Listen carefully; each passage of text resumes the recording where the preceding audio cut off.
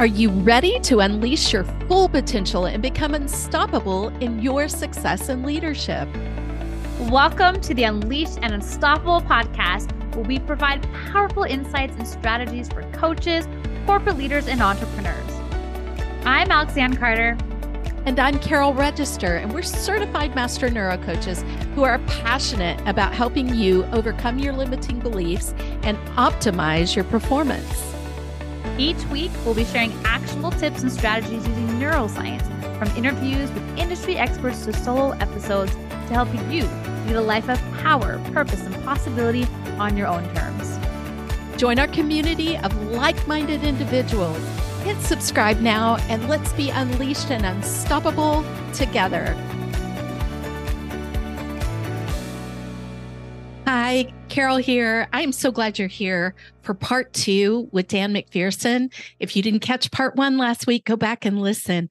Dan is one of those rare individuals that's been such an honor to meet because of his authenticity and ability to help us to have healing.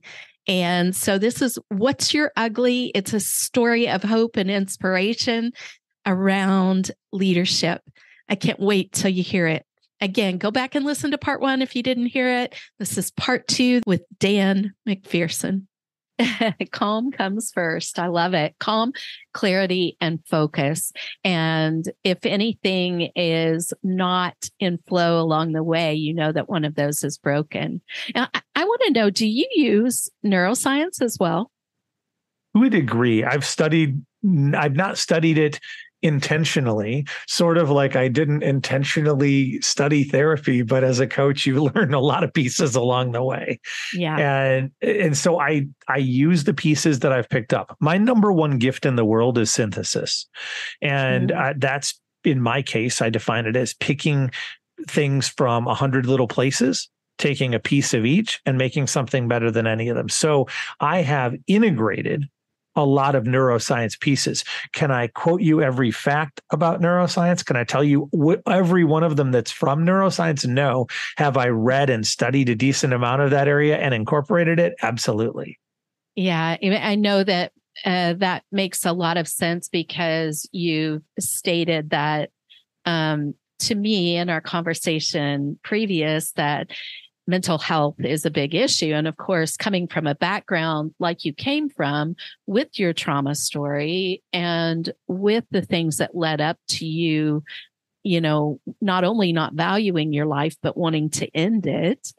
And then coming to you the place where you are actually utilizing mental health support and techniques with the client with your clients um, would you like to speak into that more?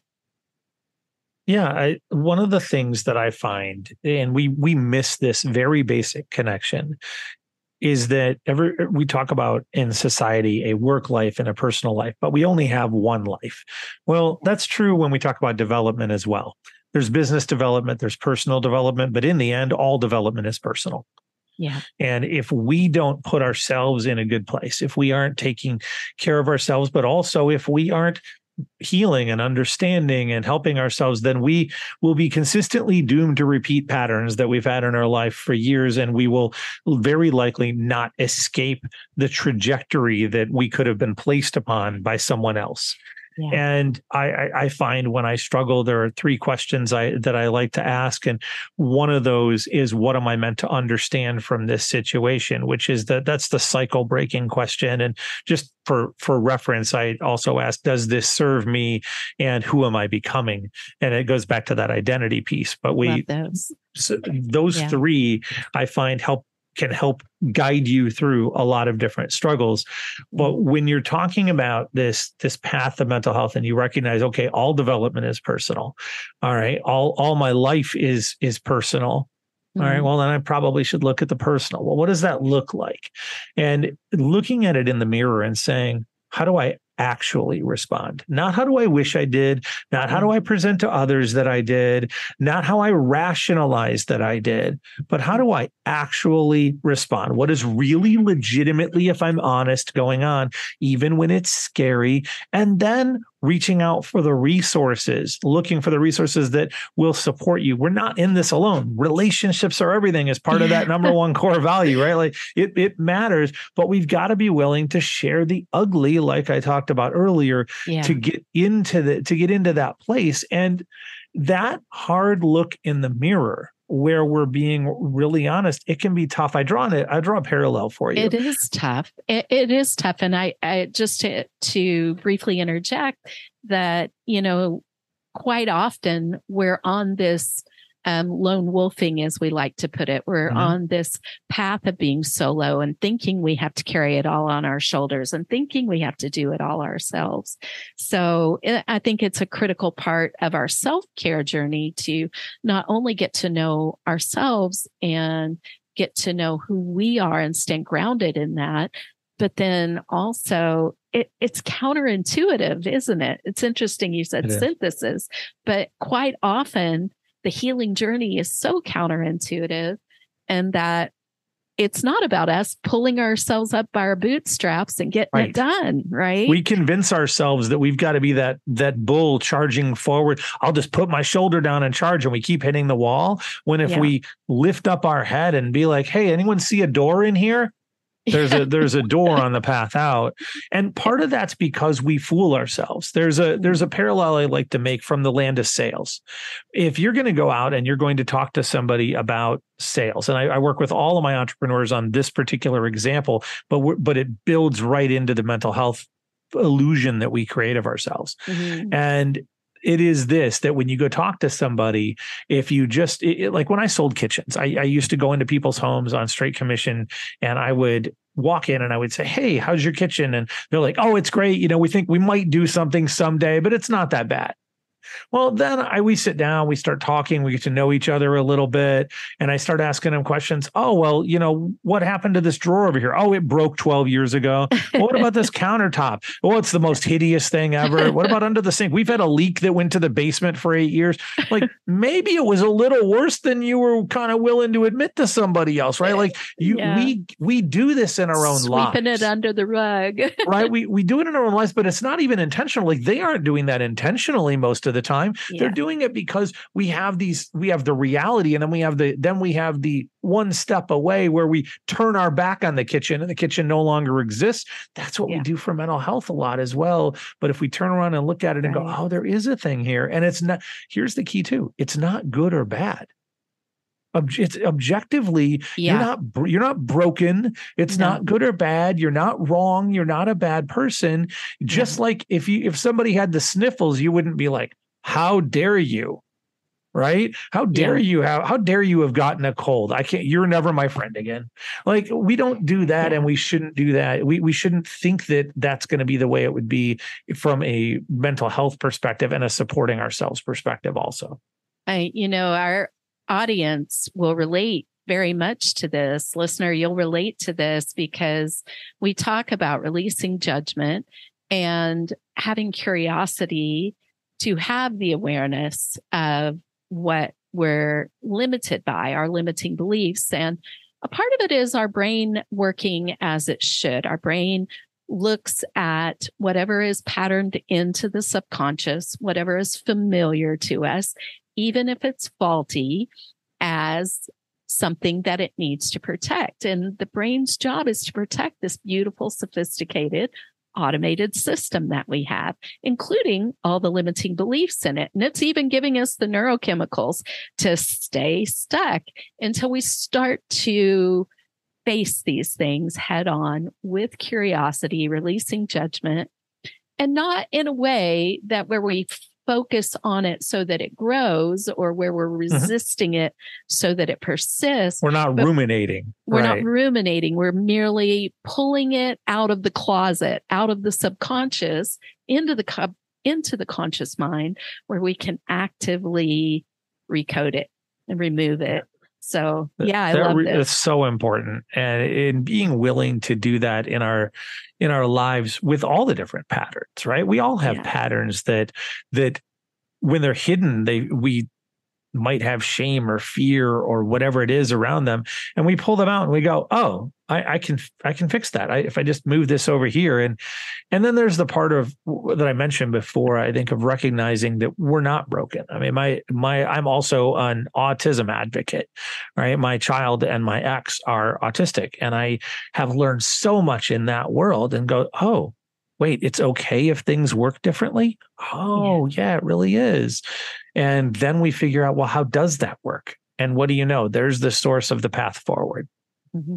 That's beautiful. And I think that's very important. It's through our limits, our limiting beliefs, that we find our truths, right? Because they're hidden right there inside of them. Well, and there's so many limiting beliefs, right? So often we hear that phrase and we tie it immediately to money. And there's actually a really cool limiting belief. I, I think you and I may have spoken about it the 50 50 rule around money. Yeah. Uh, and that of how we perceive money. Mm-hmm. And it, and it, it, just quickly validates that it isn't the case. But we tie them to that. But we have limiting beliefs in so many areas of our life. Yeah. I had one about travel. I yeah. had one that, oh, traveling a certain distance is really hard. And then I traveled that distance. I'm like, it's really easy. And then, I, but I still thought traveling further was hard. And then I traveled all the way around the world and I said, oh, travel is easy. I look at it like our brains are very, very sophisticated at the job of keeping us safe by keeping right. us in, in, whatever is familiar, by protecting that automated mm-hmm. system. So, you know, the fact that you were wanting to go travel a certain distance, your brain's like, that's not safe. That's not something we're familiar with. So it starts throwing in the limiting right. beliefs. And I look at limiting beliefs as covering all areas of our lives because we're integrated beings. Well, and I look at it know. too as a piece of the overwhelm factor. Our our body starts shutting down from overwhelm. Yeah. But there's a there's a phrase that I love around that, which is vague is overwhelming, specific is achievable. So when it's vague, when it feels like it's in the gray, when it feels like it's, oh, I haven't done it, I mm-hmm. don't understand, then it's scary, overwhelming, shut down, be protected from. When it's specific, I've seen it, I understand it, I've interacted with it, we've done something the first time, it's no it's no longer overwhelming. Now it yeah. now it fits on the inside of that protective barrier rather than the outside, which is where that the whole comfort zone discussion can come from probably too. Yeah. Well, actually I have a specific question around that. It's super interesting sure. and I hadn't heard it put that way. But you know, one of the ways that our brain does like to operate is immediately to go to the how. We don't always know the how, and trying to get to the how first can actually prevent us from gaining what we want. So when you're speaking about vagueness versus certainty, what is certainty when it's not the how? Well, let let me change the word a little bit. It's vague versus specific. Okay. Okay, and, I like and that. and, and I say that because when we start looking for certainty, we run into a lot of different issues. For example, we're taught to make decisions when we have certainty, which is incredibly inefficient. If mm-hmm. you make a decision with 70% of the information, you will make it five times faster than if you wait until you have 90, but your success rate is only going to be about a net 5% difference. And therefore, if you make decisions in your life with 70% of the info, you will actually have three to, if you do the math, you'll have three to five times as many net positive decisions. You will move immensely faster. This is how yeah. CEOs of large organizations make their efficiency in many cases. I love that. It's the Pareto principle, right? It's the power mm-hmm. curve, it goes exponential. Yep. And, you know, it's um, something that we uh, do talk about on on here from time to time. I have to slow myself down because I get really excited about the um, and, you know, just the way that we're looking at something, taking it from the vague and going to the specific. Mm-hmm. Um, you know, I think it's so important to paint a clear picture for the for the brain of our vision and right. and we do do that vision priming what what do you do with your clients in regard to vision and in regard to um, getting to the specific it depends upon the situation. First, I, uh, I'll tag onto something you mentioned earlier curiosity. I believe that curiosity is the number one individual skill in the world. If I could only improve one skill, I would be more wow. curious, ask more and better questions. And it's not even close. If you look, it's the, it cascades to everything else. I always like to look and ask what one thing, if I do it, will make the others either easier or irrelevant. Curiosity is that in the world of skills. If you look at skill sets, I believe it's leadership leadership. Is not just the cornerstone, but it's the keystone. And so you mm-hmm. work in those spaces and become a better leader. People say, "Oh, I don't want to be a leader." I had somebody the other day say, "I was asked if I if I wanted to be a leader, and I said no." And I looked at her, I said, "Too bad." And she said, "Why?" I said, "Because every single person's a leader. The only question is whether you're going to be good at it. So That's you determine so what your choice is within that." Mm. And when we talk about vision, we I, I, think i tend to think of it in terms of having vision that we share with whether it be our family our team the, the people around us whatever we have vision for different parts of our lives. We have we have vision for where we're going to go on vacation. We have vision for what our business is going to do or become. We have vision for having a future having future children anything like that.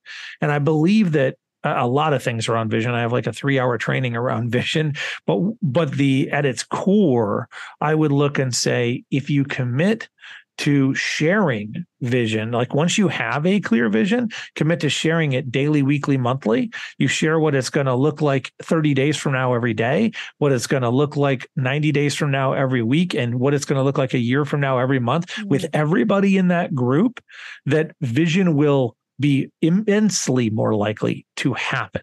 In terms of finding your vision, look for the why behind the what. You know, you talked about mm-hmm. us wanting to know the how, but if we know the why behind the what, if we know our why, if we know our North Star in that particular endeavor, mm-hmm. then we can reverse engineer everything and we can build it with vision then strategy, then tactic, then task.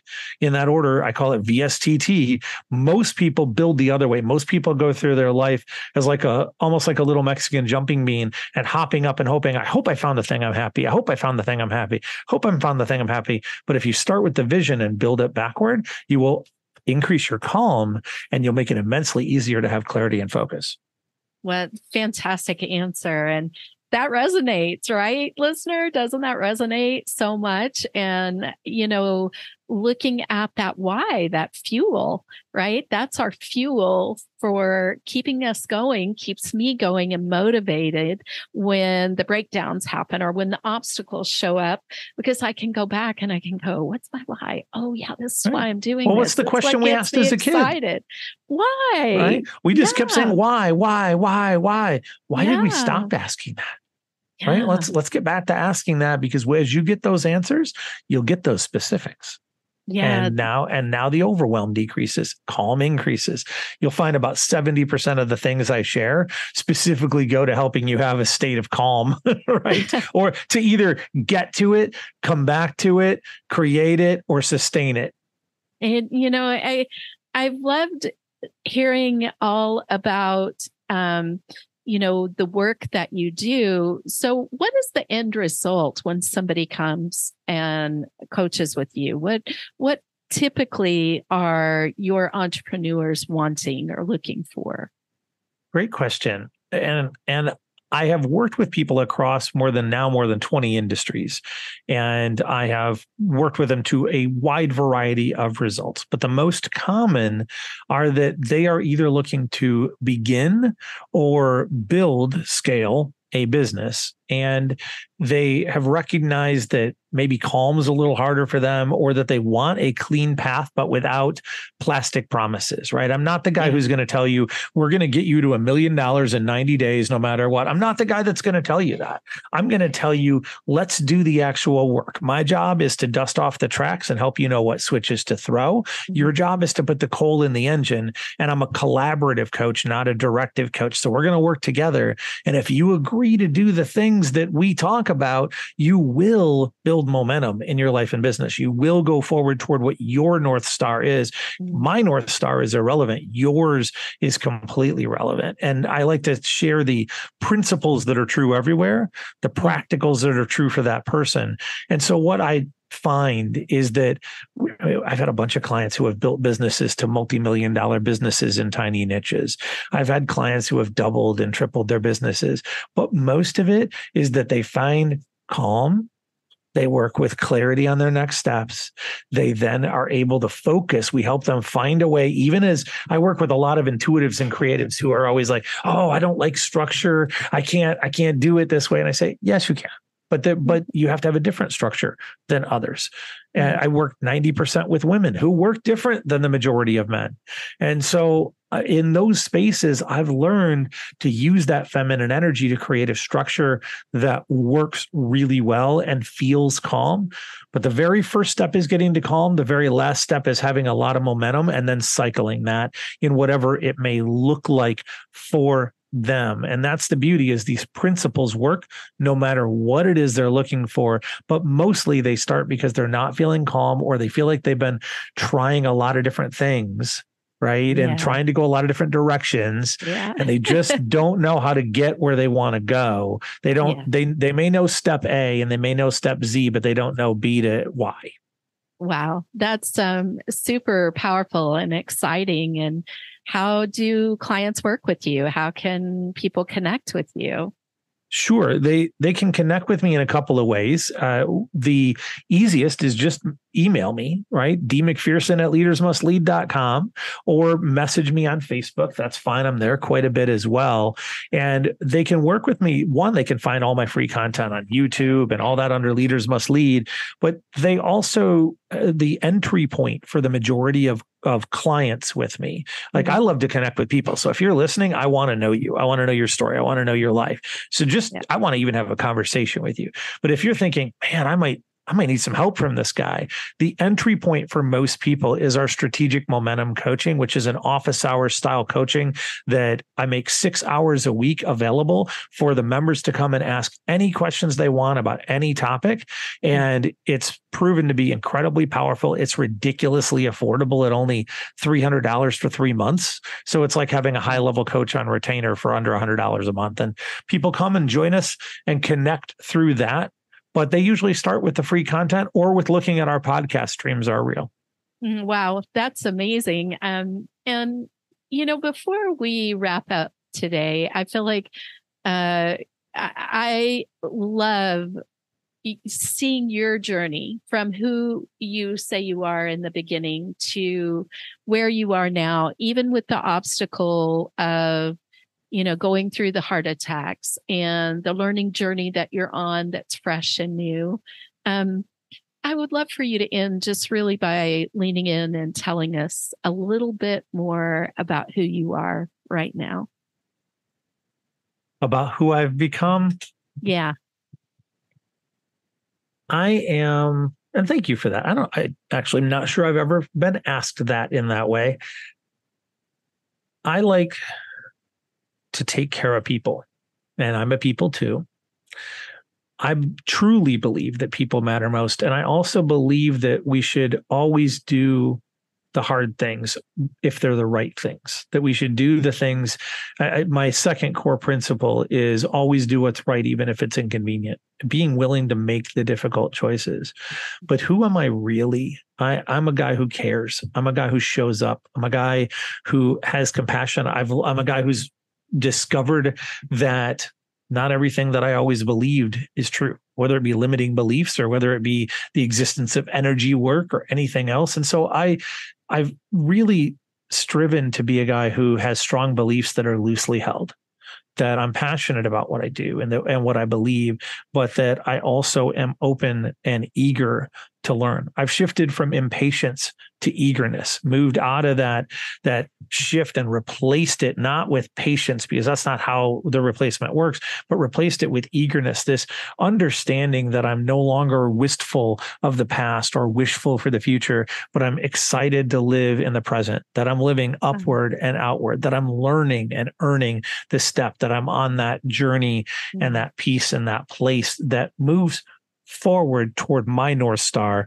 which is to inspire true generational change in the world that's going to reduce these larger problems like human trafficking, hunger, poverty, racism by 15% in the next 15 years. And I'm doing that by helping a million creatives and entrepreneurs, primarily women, to actually achieve their dreams, to do that thing. And wow. if I can be known for that as the legacy, that I did everything I could to be a voice heal with my my words and the spaces between the words and be a voice that allowed others to achieve their dreams and have reminded others that they are valid and valuable and that they matter and that their world and their story is crucial to the existence of so many more than they realize then i win. Wow. Thank you for that. Thank you for being here dan. It's thank been, you so much for having me. Yeah just you know, listener, it's a joy to bring you Dan and let you hear about being in those dark places, in those ugly places, and seeing that you can be in life with eagerness, um, with living in the present and looking forward, right? Um, I'm so thankful that you joined us. We will have his information in the show notes for you. We're excited to have that there for you. And I just really appreciate uh, connecting with you and um, bringing your world to our audience. So. Thank you so much. There is always light through the darkness, and dreams are always real. And I'm so grateful to be here.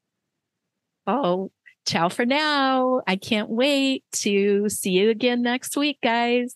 So have a great week and really sit and listen to the gold nuggets here. See you soon. Thanks for tuning in to another episode of the Unleashed Unstoppable podcast with your hosts, Alex Lianne Carter and Carol Register. If you enjoyed this episode and you'd like to help support the podcast, please share it with others. Post about it on social media or leave a rating and review and subscribe. That's all for this episode, Wildly Ambitious Leaders. See you next week.